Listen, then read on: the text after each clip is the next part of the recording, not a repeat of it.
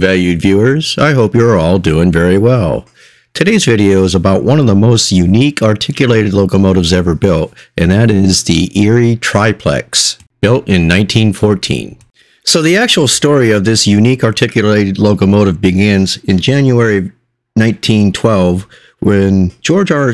Henderson, consulting engineer of the Baldwin Locomotive Works, attained patent number 1013771, which covered an invention in the field of locomotive construction that created much publicity. And this, of course, was the triple articulated compound locomotive generally known as the triplex.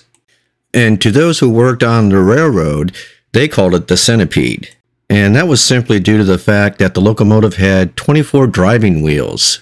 So the first engine built to Henderson's patent specifications was purchased by the Erie Railroad in 1914, and that they intended to use for pusher service on Gulf Summit Hill near Susquehanna, Pennsylvania.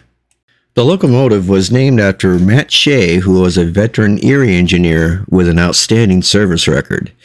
This locomotive exerted a tractive force of 160,000 pounds, which is basically exceptional for that time. And that was working in compound mode. And as one could reasonably expect, that exceeded any previous locomotive ever built to that point of time, which was 1914. The wheel arrangement was 28882, the rear group of drivers and the, uh, and the trailing truck being placed under the tender section. Flange tires were used on all the wheels. The total weight of the locomotive was 853,050 pounds. And steam was used in two 36 by 32 inch high pressure cylinder was exhausted into four low pressure cylinders of 36 inches by 32 inches. Another fairly remarkable number for the time was that 90% of the locomotive's total weight was available for adhesion. And of course, the advantage to that would be on severe grades. And in those conditions, that's where the weight of the tender materially detracted from the net hauling capacity of any other ordinary locomotive of the day.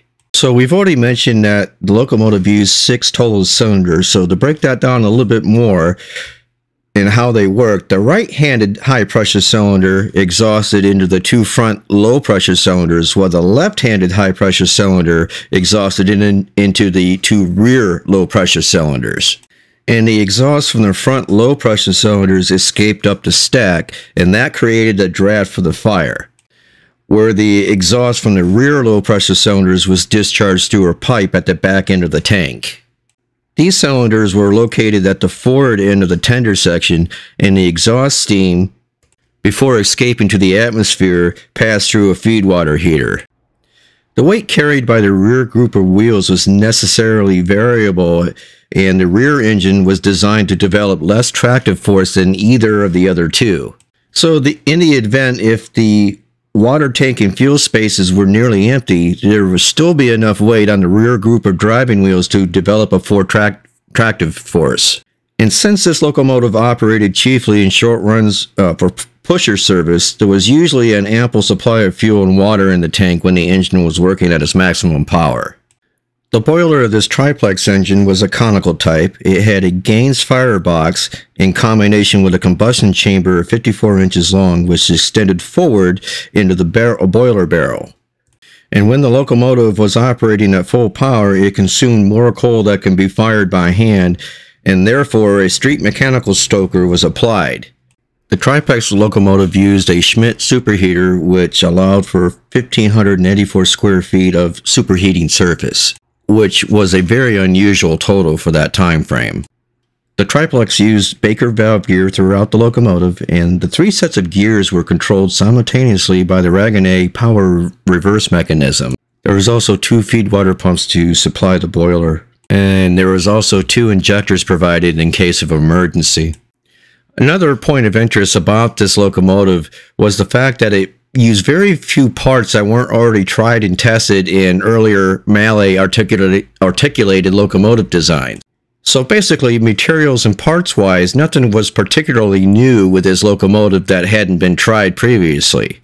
Unfortunately, the triplex was a, a design of grand ambitions, and the design failed in two important res respects. Number one, it could never have generated enough steam as both the boiler and the grate were far too small. And number two, the couplers on most freight cars couldn't stand the strain of the enormous pulling power this design could muster.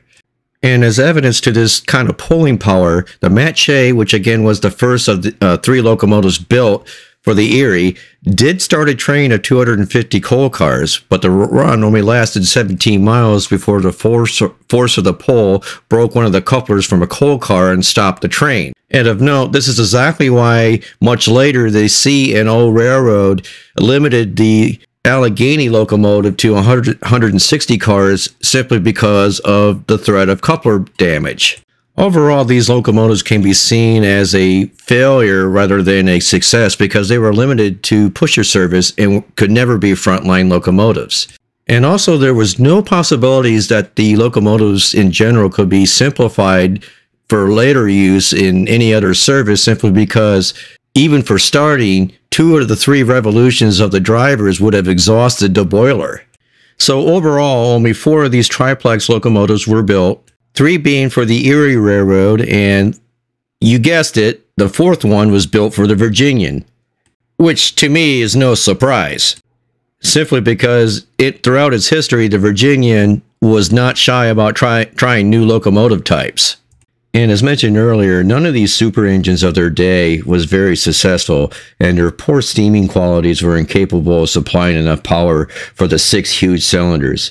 All three of the Erie engines were dismantled between 1929 and 1933, and the Virginia's model, which was numbered number 700, was rebuilt into a 2880 uh, type in 1920, this reaching the end of its road in 1936.